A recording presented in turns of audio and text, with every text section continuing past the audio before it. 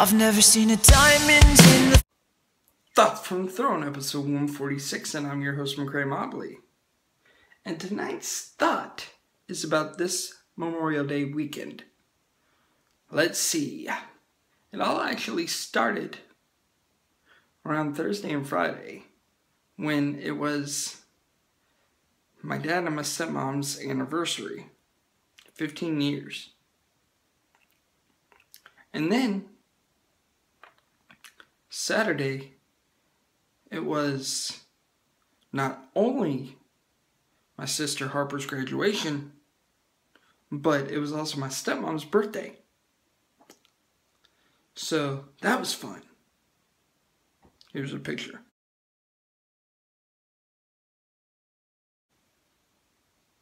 And here's another one. And then Sunday was a graduation party, which was also fun. Don't have pictures of that. And then today is actually not only Mem- Memorial Day, America, but also my mom's birthday.